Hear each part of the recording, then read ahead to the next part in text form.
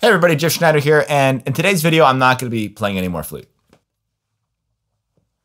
But this video is gonna be a little bit strange. I thought of this crazy idea to teach music through a different uh, vessel, if you will. Um, in fact, I'm gonna I'm gonna be dropping some truth bombs via fortune cookies. Here we go. I'm gonna eat half, and then I'm gonna read the fortune, and I'll tell you how it relates to music, and hopefully you'll learn something.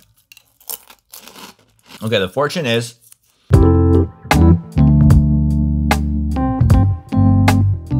By the way, I just want to mention I just came out with Sick Chords Volume 1. It's a collection of hundreds of piano voicings for seventh chords, major 7, dominant 7, minor 7. So if you guys are playing jazz, R&B, neo soul, gospel, blues, funk, anything like that, you want to get the Glasper harmony down, the Cory Henry chords together. This is like the best reference that I've ever come across for that kind of work. And there's also a video included where I explain how to use the, the voicings and how to go about reharmonizing and composing and practicing and whatnot. So anyway, back to the cookies. Okay, the fortune is, before the beginning of great brilliance, there must be chaos.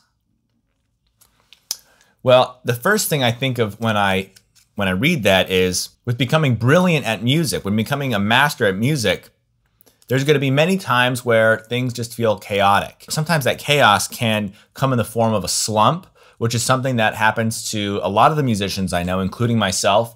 I remember there was a time, I think it was when I was at the conservatory and I was practicing all the time.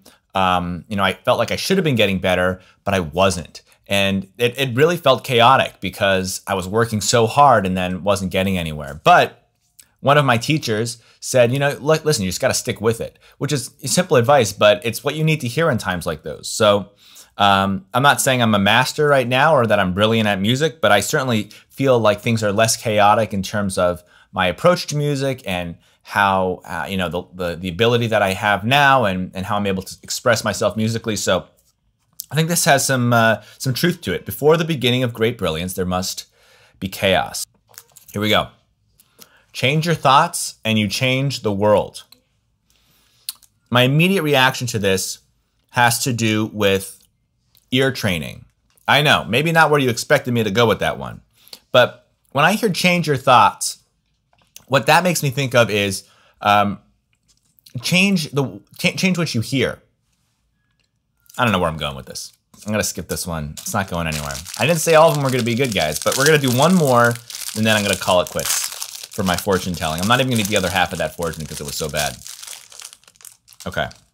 I'm gonna ruin my dinner. I told you this was gonna be weird.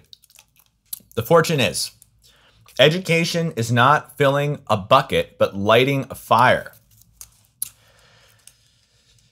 That really means a lot to me as a teacher teaching music. One of the things that I've always uh, tried to do when giving lessons one-on-one or teaching classes or even just, you know, doing these YouTube videos is yes, I want to like impart my knowledge, but mostly I want to like try to get everybody to play as as good as they can by by inspiring, um, not just by teaching uh, information and, and and musical theory and whatever, but rather focusing on at least my approach on inspiring people to get better. Uh, so I try to do that with the way that I teach, like the way that I talk to my students, and and also with the music that I play and the way that I play.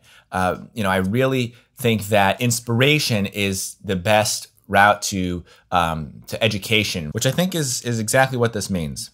So um, hopefully, some of the stuff that I've uh, delivered to you guys over the years has lit a fire for you to um, be inspired and, and, make better music and, and want to learn more about how to make better music. And if that's the case, then, then I'm happy. All right, I'm going to eat the rest of that cookie because I thought that was that was pretty decent. And